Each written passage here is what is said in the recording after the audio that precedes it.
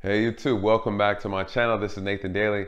I am your law enforcement translator, you guys. Some are calling me TLO. I love the name, the lead officer. Has a good ring to it, right? Hey, you guys, listen. For those who are new to the channel, welcome. I hope you're enjoying yourself. Make yourself at home. We are a group of critical thinkers, you guys, and we like to dive deep into subject matters and we share them freely and openly. We don't censor over here.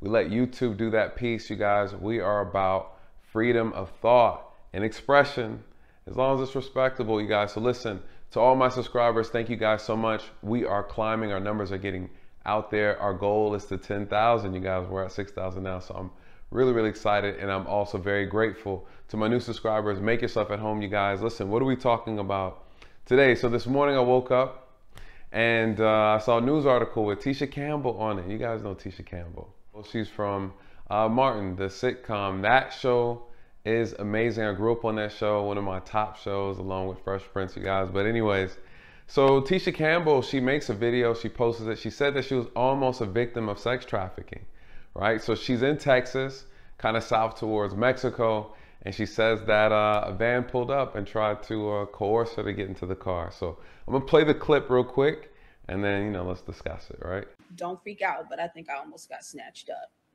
So uh, they don't have Ubers where I'm I'm filming, and I had to call a taxi. So I get this number, but the the, the truck that that the van that pulls up is real sketchy looking. But there's a guy in the back seat, right? So when he jumps out, the guy is just standing there. I thought he was getting dropped off, but he's just standing there. He goes, "Get in," and I go, "What?" He goes, "Get in," and I go, "No." And then I look at the car, look inside the car, it's fucked up. The rubber is pulled up from the bottom. There's dirt everywhere. The, the back seat looked like it's snatched out and snatched out for a fucking reason. And so the guy in the front seat, the, the driver goes, get in the car. And I go, I'm not getting in the car. And the guy in the back is like kind of mushing his body towards me to get in the car. And the guy says, well, then get in the front seat then. I said, I'm not getting in that fucking car. Fuck y'all. Fuck out of here, right? I asked the lady at the front desk, I said, yo, who's the guy that gave me this number? And she was like, why would he give you this number? Yo, this trafficking shit is real, but they got me fucked up.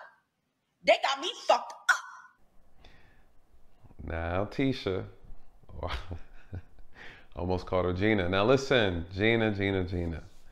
Okay, listen, I'm not saying, right? I'm not saying that something didn't happen. I'm not saying that she's not being honest. I'm sure something happened. Uh, but sex trafficking, you know, human trafficking, you guys, that's a real, real thing. And it's not to say that she, it's not to say that it couldn't happen, right? But you know, you know, you know, Tisha, you a little, you up there, sister. You about how old is Tisha Campbell? She got to be like 55. She still looks good for her age, bless her heart, but she look about 55. Tisha, they don't want you. All right, they don't want you. But you know, no, all jokes aside, you guys, you know, I'm very well studied when it comes to human trafficking. You guys, you know, I'm in here in Atlanta and there's been some cases, plenty of cases. I've seen some cases and had an opportunity to work with some people who had cases with human trafficking, some just suspicious behavior overall. You guys, I take it very seriously all jokes aside, you guys, all ages have the potential to be victims of human trafficking, you guys. Because what is human trafficking? You'd be surprised. I talk to people about the subject often, and a lot of times people don't really know what it is. They assume that all human trafficking is sex related, and it actually isn't. A big portion of it is actually uh, labor related, you guys. They often say that it's actually the new form of slavery or the fact that slavery never really ended right? So what is the definition of human trafficking? Let's go over real quick because I want to be clear on this so that everybody has a clear understanding. So for the most part, human trafficking is the illegal trade in human beings through recruitment or abduction means of force, fraud, coercion for the purpose of forced labor, debt bondage, or sexual exploitation. So this is the thing, you guys. And so real quick, I think this is a great thing that she's doing. She's speaking about human trafficking, sex trafficking. And I think it's very, very important in this time to constantly, constantly remind people that this is an active threat, you guys. I always say this, you know, sometimes we step outside and everything seems to be very peaceful, right? And very tranquil. But you guys, listen, I'm here to tell you that it's not all peaches and cream. Why do I say that? Because even in society, there's an underbelly to it, right? There's things that go on underneath us where people criminals are operating within the shadows. Their job, their goal is to create havoc, to cause confusion, to bring pain, to bring suffering, to make us into victims, you guys. I'm telling you, they live for this. Why is that? Because it's profitable. You guys, it's profitable. Outside of sex trafficking, human trafficking in general, the umbrella of it, it's about labor, it's about free labor. And that other portion of it where women and children are disproportionately affected.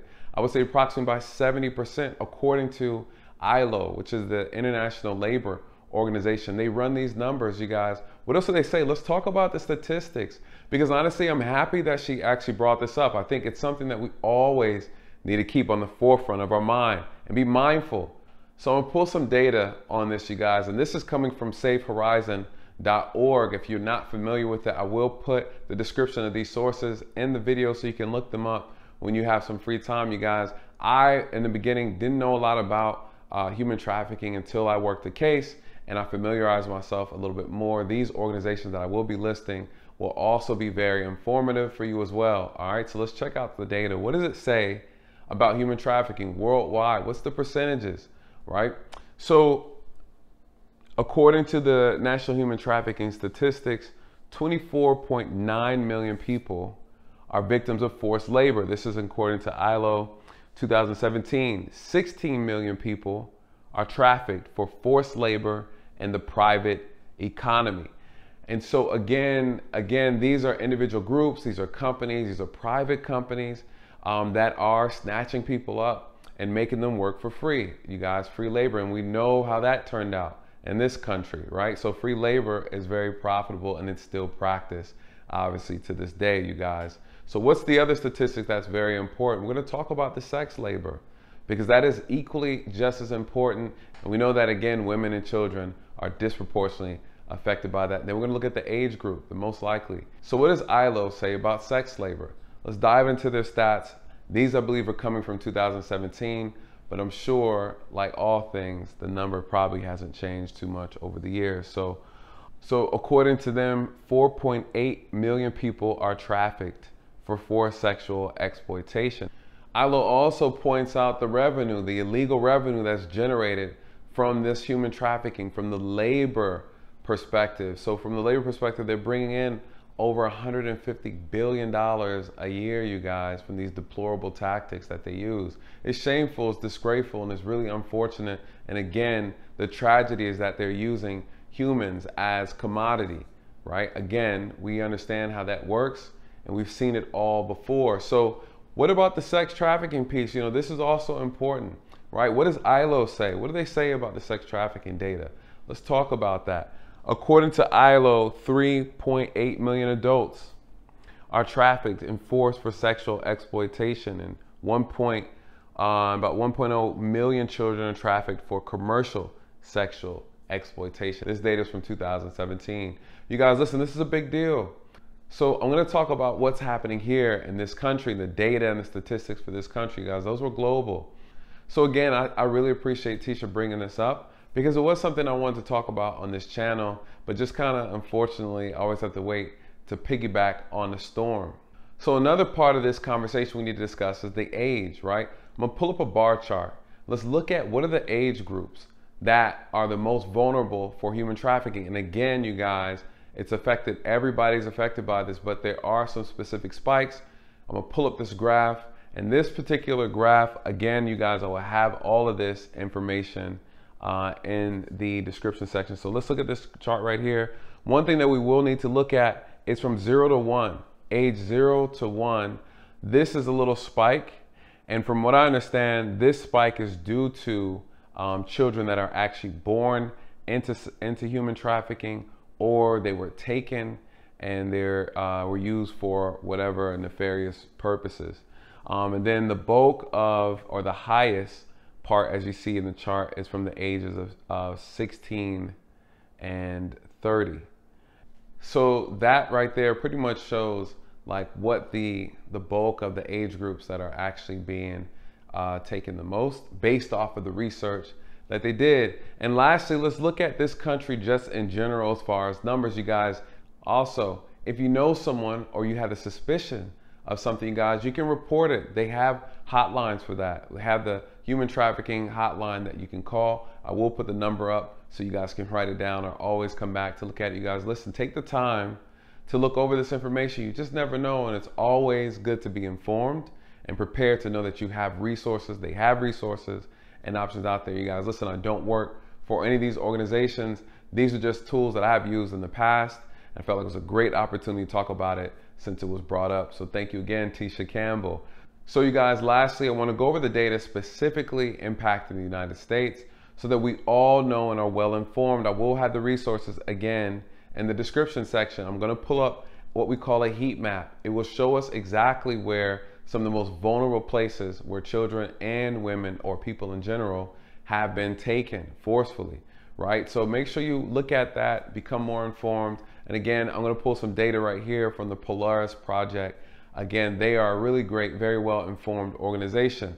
So this data is coming from the Polaris Project. Let's pull it up and let's see what they have to say in reference to 2020 statistics. So in 2020, 10,583 situations of human trafficking was reported. And according to the United States National Human Trafficking Hotline, they were able to identify 16,658 victims, you guys. That's a lot. And again, when you look at the heat map, it'll definitely show you where the areas of interest are and areas that need to be looked at and monitored more closely. And again, I will have the hotline up. If you break down these numbers, I'm gonna pull up another data set. If you break down these numbers, it'll tell you exactly how much was for labor and then also how much for sexual exploitation. So let's look at the data, see what it says. Okay, and according to Polaris, it is saying the situations trafficking identified, victims of trafficking identified. Right here for sex, you have 10,836. For labor, you have 3,583 for sex and labor 631 and then of course those not specified 1634 the highest the top types of labor when it comes to human trafficking is going to be escort services pornography illicit message messages health and beauty and then residential based commercial sex personal sex servitude. You guys listen i will have this information uh, in there for you to go through it. But I thought it was very important just to kind of point out, you guys, this is a real problem. And again, sometimes we move about every day and we never, never really realize that again, we have people who are lying in wait and looking for the opportunity to take advantage. So again, looking after your own children, helping looking after other children and kind of creating like this village in our communities, you guys, we live in this country now but times have changed so much, right? We don't even know our neighbors. We don't communicate with people on the block. We don't interact with people like we used to, you guys. We're so disconnected, right? There are cases, you guys, that I'm well aware of where people have walked by with kids that don't belong to them in the neighborhood. And you have neighbors who don't even know that that child belongs to that adult, you know, and this is the thing, you know, so again, we have to, we've lost that connection, right? We lost that connection that we used to have uh, in this country. Again, so much has changed. We've become more like individuals to the point where we don't even know the left from the right. Literally. Anyways, you guys, that's it for this video. Um, I hope you found it informative. And I know kind of Tisha Campbell kind of brought this this whole thing to life again. But at the same time, you guys, all jokes aside, you know, we don't know what happened in her situation. It could have very much well have been something um, very nefarious and we don't know. I'm glad that she's okay. She went back in and she um, she was able to kind of report it. So again, you guys, we have to be observant. We have to be mindful. You know, whatever stirred in her that made her uncomfortable, she listened to that, you guys. And I always urge people, listen to that feeling. Don't ignore it. Right? It's there for a reason. Your spirit, your conscience, your your gut feeling, whatever you want to call it, is always going to tell you what to do. Do not argue with it. Listen to it Best case scenario, you guys, walk away from the situation, call 911, get help immediately, and make yourself very, very vocal. All right. So, again, you guys, I hope you enjoyed. Please share this content, share this information. I think it's important, it's imperative that we never stop having this conversation, you guys. These people out here are very dangerous. They work the black market. You guys will be surprised what goes on underneath there. A lot of sick, twisted individuals, you guys, a lot. And they are out here and they look just like me and you. All right. So again, you guys, I hope you enjoyed it. Let me know your thoughts. Please like, comment, share, and subscribe. And with that, you guys, let these truths find you where these lies have left you. I was about to say good night, but it's morning time. Have a blessed day, you guys.